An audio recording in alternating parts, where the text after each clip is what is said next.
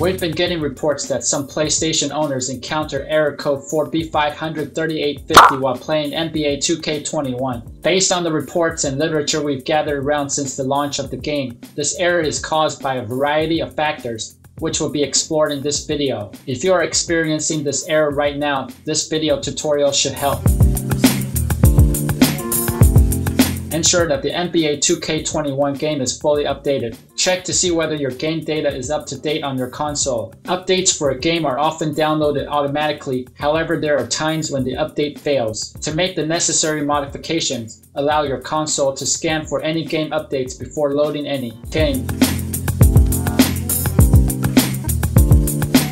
Power cycle your network equipment. The internet connection must be tested to confirm that it satisfies the requirements for online gaming. If the speed is less than 5 Mbps and much below the subscription plan you selected, consider restarting the modem by removing the power cable for at least 10 seconds to refresh the connection. You may also connect the console or PC straight to a modem to have a better and more consistent connection to play the game online.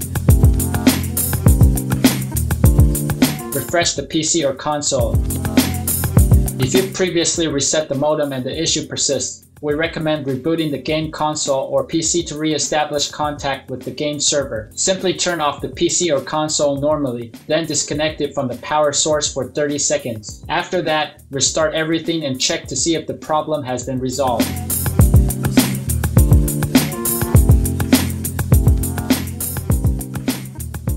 Verify that NBA 2K21 game servers are working. Once you've checked that all updates have been downloaded and your internet connection is steady, check the NBA 2 Kelvin website for any known outages. There might be a server problem that they are attempting to fix, or they could be performing server maintenance. If it is a known outage, we have no choice but to wait for them to resolve the issue.